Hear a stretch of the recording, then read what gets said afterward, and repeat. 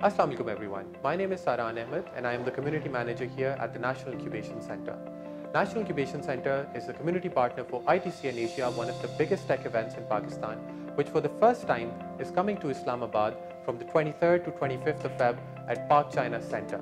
We're looking forward to welcoming you there, where you can connect with us, see some of the amazing work that the Pakistani startups are doing, and in addition to that, get a chance to see the wonderful work that is being done at the National Incubation Center for the startup ecosystem of Pakistan. So looking forward and hoping to see you there.